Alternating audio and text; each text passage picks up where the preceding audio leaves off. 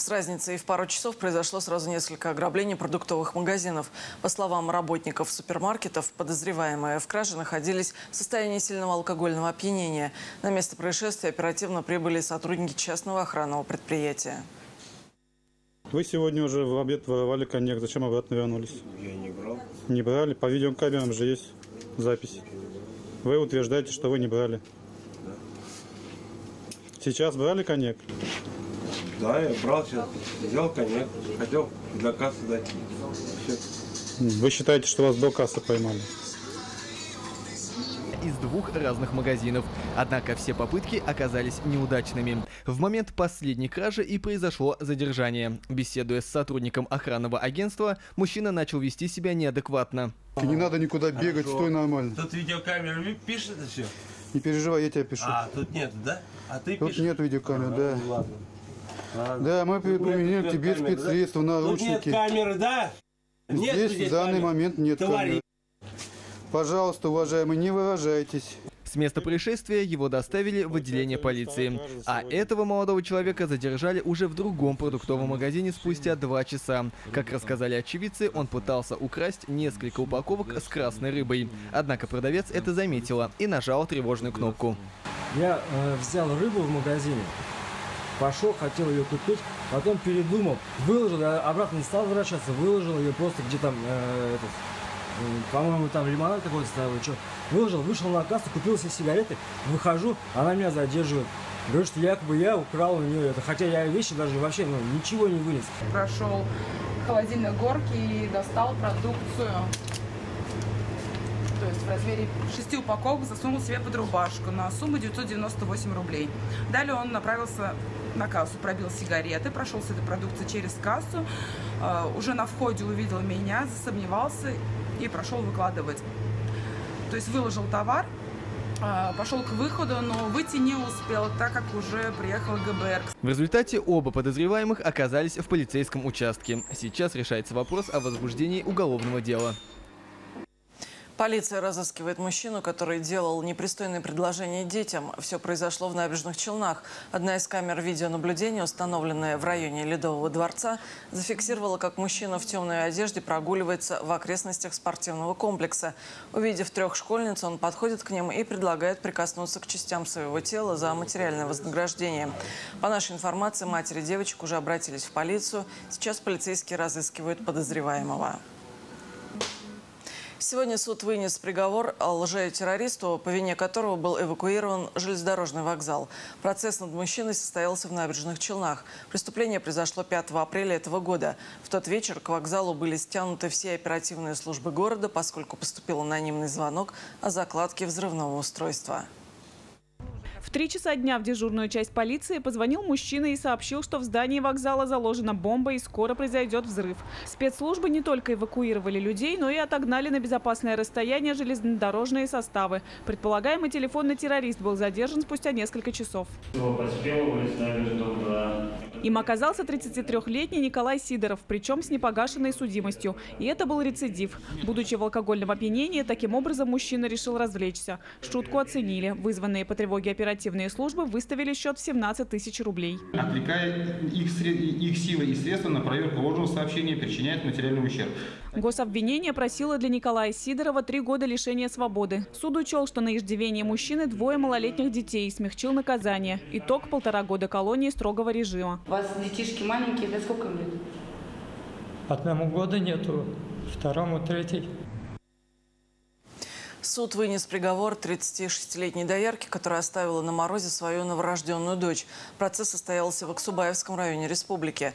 Преступление произошло в феврале этого года. На одном из заседаний женщина рассказала, что забеременела не от мужа. Родив спустя 9 месяцев здорового ребенка, она оставила младенца умирать в неотапливаемом помещении. Через пять дней женщина выбросила тело новорожденной девочки на ближайшую мусорку. Свою вину обвиняемая полностью признала. Ее осудили на два года лишения свободы условно. Невнимательность автомобилиста привела к аварии на улице Карагандинской. Там столкнулись две «Лады» 12 и 13 моделей. От удара последнюю выбросила с дороги, где машина врезалась в столб. Там и движок, и все, короче, маска потекла. Движок, он, видишь, вниз ушел. Подушку согнул, движок вот так вниз ушел. Оценивая повреждения, которые получила «Лада» 13 модели, ее владелец даже не может представить, в какую сумму обойдется ремонт машины. Помимо разбитого моторного отсека, от мощного удара у легковушки согнулась даже крыша. Молодой человек, говорит, не думал, что после встречи с столбом будут столь серьезные последствия, ведь скорость он не превышал, ехал даже медленнее положенного. 45, наверное, где-то. Да что, даже, даже тормозить даже не успел. Просто в руль цепил сюда-сюда и все. «Лада» 13 модели ехала по улице Карагандинской. На пересечении с Ударной нет даже знаков приоритета, хотя на небольшом перекрестке можно обойтись и без них, ведь второй участник на 12-й «Ладе» выезжал с грунтовой дороги и, соответственно, должен был всех пропустить. Но виновник не стал даже снижать скорость. Говорит, весь обзор ему закрывали молодые деревья и кусты. Ну, я вижу то, что на фарах. Ну, по фарам, то, что она выезжает. В итоге, значит, ну, думаю, уступит, уступит, я выезжаю, и он, получается, начинает выезжать, и в колесо мне задним врезается. И все, меня что-то повело, повело, и в итоге в стол прилетел. Молодой человек купил свою десятилетнюю «Ладу» 13 модели всего несколько месяцев назад за 60 тысяч рублей. Автомобиль ему нужен был специально для работы курьером. Так как машина сейчас не на ходу и неизвестно сколько времени займет ремонт, есть вероятность, что парня теперь еще и уволят. Казанцы сообщают, что берега озера Кабан до сих пор усыпаны дохлой рыбой. И, напомню, массовый мор пресноводных произошел около недели назад. Причем среди них большое количество карасей – это один из самых неприхотливых видов. Обитатели водоемов всплывали в самых разных местах центра города. Хотя дохлая рыба гниет и портит общее впечатление о Казани у многочисленных туристов, берега Кабана до сих пор не очищены.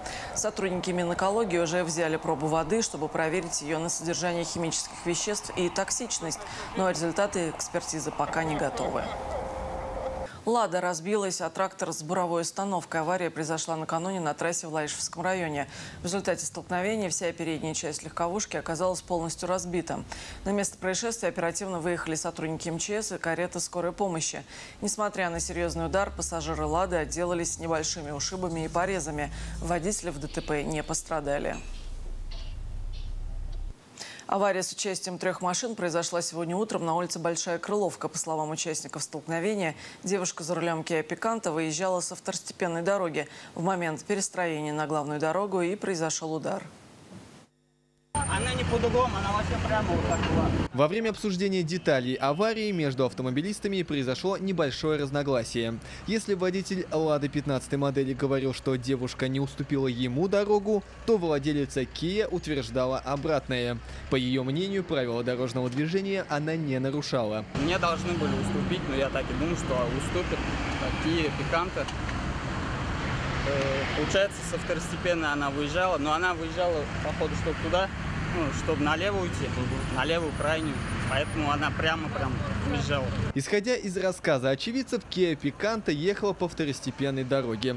В какой-то момент владелица корейской иномарки решила повернуть на улицу Большая Крыловка. В этот момент основной поток машин уже остановился на светофоре, а Лада 15 модели только приближалась к перекрестку. В результате столкновения отечественную легковушку отбросила в сторону. Получается, уже не успел ничего, затормозил, считай, там тормозной путь есть. Меня врезало, ну, я врезался в нее, и меня, меня на два колеса подняло, и я ладно, вес врезался. А с какой скоростью двигались? 80 км в час. В основном машины получили кузовные повреждения. Однако истинная картина ущерба станет понятна только после детального осмотра. Если участникам столкновения не удалось договориться на месте происшествия, то в следующий раз автомобилисты встретятся на разборе в отделе ГИБДД. Байкер, пострадал, байкер пострадал в аварии, которая произошла сегодня ночью на Кировской дамбе. Там мотоцикл столкнулся с автомобилем «Шевроле Лачетти». Оба водителя ехали друг за другом в сторону улицы Несмелого. Но в какой-то момент во время перестроения из одного ряда в другой владелец двухколесного транспорта врезался в заднюю часть легковушки. На голове байкера был шлем, который уберег его от серьезных травм. Медики осмотрели парня на месте, но решили, что в госпитализации он не нуждается. Водитель «Шевроле» рассказал, что сначала байкер признавал свою вину и соглашался, что ДТП случилось из-за несоблюдения им дистанции, но когда на место приехали инспекторы ГАИ, передумал брать на себя ответственность и стал утверждать, что это автомобилист резко перестроился на его полосу. Споры участников аварии в ближайшем времени продолжатся в суде.